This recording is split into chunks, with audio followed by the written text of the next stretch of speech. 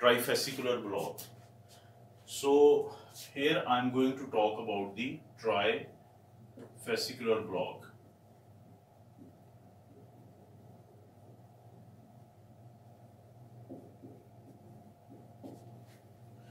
This is going to be the last in the series of the blocks in the bundle branches. It was it included the right bundle branch block, left bundle branch block, left anterior uh, fascicular block, left posterior fascicular block, bifascicular block, and it's going to be the last one, which is the trifascicular block. So, trifascicular block is basically it comprises of one right bundle branch block, right bundle branch block plus either either left anterior fascicular block or left posterior fascicular block. And on the third it either can be either it can be first degree AV block first degree AV block or second degree AV block second degree AV block or third degree AV block third degree AV block. So this is a very very confusional sort of block.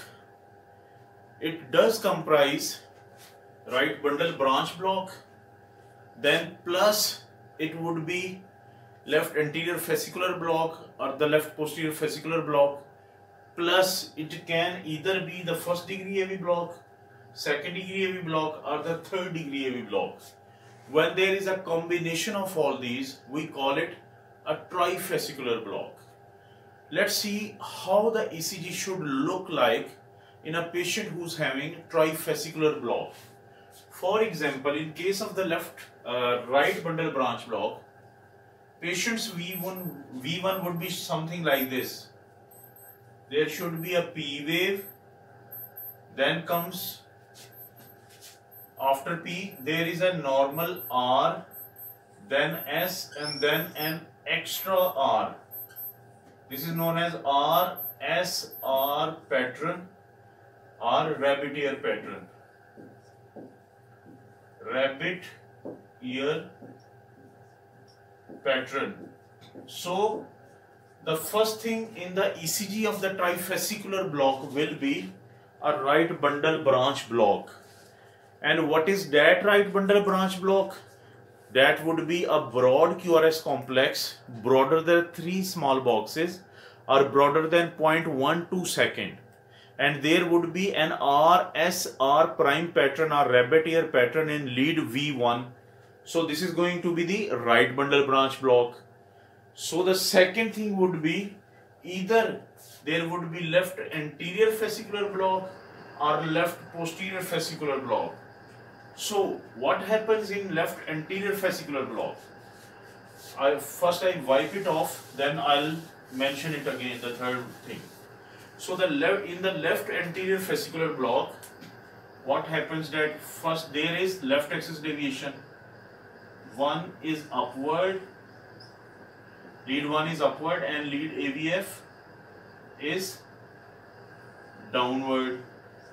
So the first thing is there is a left axis deviation. Then in lead 1 and AVL there is SR pattern.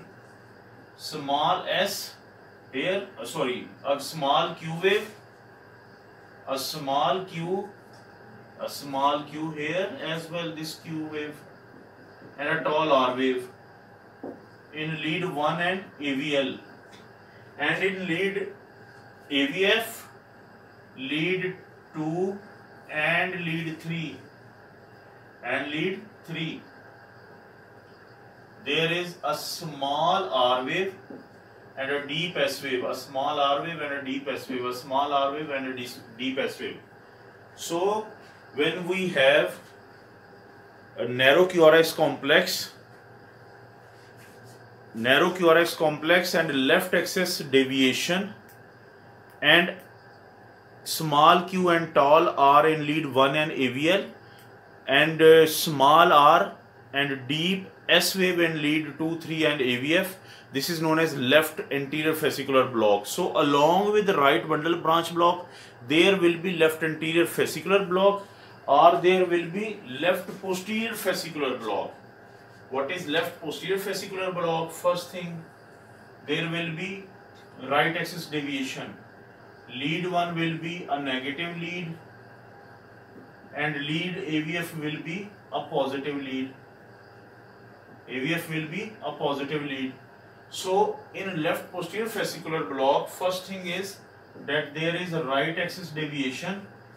Secondly, there is in lead 1 and AVL a small r and deep S, small r and deep S wave, small r and deep S, both in 1 and AVL.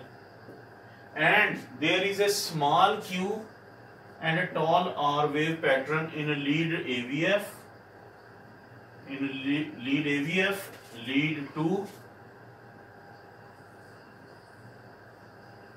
and lead 3. Lead 2, 3 and AVF have got a small Q wave, this one is a small Q wave and a tall R wave. So right axis deviation, a small R wave and deep S wave in lead 1 and AVL which are the lateral leads and in the inferior leads we have a small Q wave and, and a tall R wave in lead 2, 3 and AVF this is known as and a narrow QRS complex. QRS complex will not be broader than 3 small boxes. So this will be left posterior fascicular block. So up till now we know that in trifascicular block there will be first right bundle branch block. Then along with it there either can be a left anterior fascicular block or there can be a left posterior fascicular block. Or sometime what happens that there can be one day it can be left anterior fascicular block and it can alternate with the left posterior fascicular block after a day or two so that is an alternating behavior of the blockage of the bundle branches the fasciculi of the left bundle branch so, and what will be the third condition for the tri fascicular block, the third condition will be either first or second or complete heart block. So what will be, what will happen in case of the first degree heart block? The, the PR interval will be more than 5 small boxes. This is P, this is Q, this is R, S. PR interval is from the start of the P wave to the start of QRS complex. And in case of the first degree heart block, in the case of first degree heart block, AV block, it would be more than 0.20 second or more than one large box or more than five small boxes because one small box is equal to 0.04 second.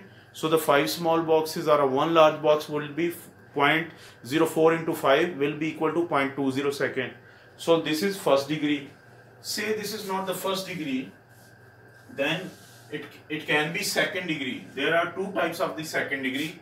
Either it can be Wenckebach phenomena, where you see the PR interval gradually prolongs and after third or fourth beat there is the missed, Q, missed beat.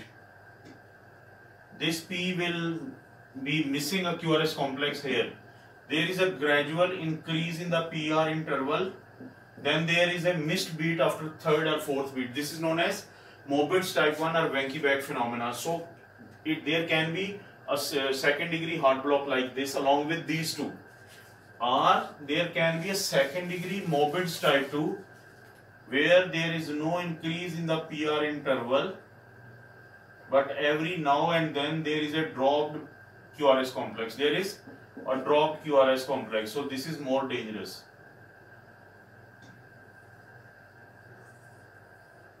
This is Mobitz type 2. So it can be Mobitz type 1 or Mobitz type 2 second degree heart block along with right bundle branch block or left anterior or left left posterior fascicular block to qualify for the trifascicular block. The last thing can be there can be a complete heart block along with these two. There can be a complete heart block or the third degree heart block. What happens in complete heart block? That there will be complete disassociation of the P and the QRS complex. P can be anywhere here, here, here, here, here, but there will be complete disassociation of the P from the QRS complex. P to P interval will be regular and QR to QR or R to R interval would be regular. This is what we call complete heart block.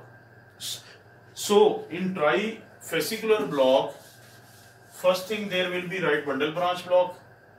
Then either there can be left anterior fascicle block or left posterior fascicle block or it can alternate. And thirdly it can be first degree AV block, second degree AV block or third degree AV block. First, second or third degree AV block. Third degree AV block. This is what we call trifascicular block. Why it is important? This is very important because sometime in the ECG you will find that there is a right bundle branch block, there is RSR pattern and broad QRS complex and lead V1 and there can be left axis or right axis deviation and there can be narrow QRS complexes and then you find that in the same ECG there is there is either a first degree AV block or a second or a third degree or a complete heart block so this is known as trifascicular block. Why it is important? Because if a trifascicular block is associated with the first degree AV block, patient is not mostly symptomatic and the chances are that patient will not need any treatment. But in case of the trifascicular block where either there is a Mobitz type 2 second degree heart block or complete heart block, then you need a permanent pacemaker in these patients. The cause of the trifascicular block is most of the time myocardial infarction, hypertension, aortic stenosis. There can be degenerative diseases of the conduction system. But in case of the uh, inferior wall myocardial infarction, there can be a first degree AV block associated with the uh, trifascicular block and it will actually convert back to the normal. So most of the time you do not need to treat it. But if, if there are any other causes of the trifascicular block which are associated with the second or third degree block, you need a permanent pacemaker. Otherwise, the patient will go into the hemodynamic instability and we can lose the patient.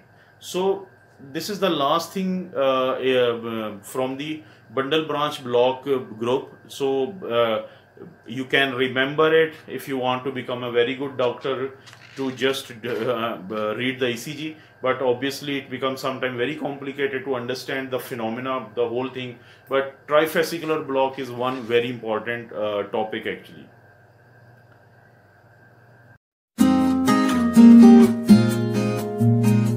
mm -hmm.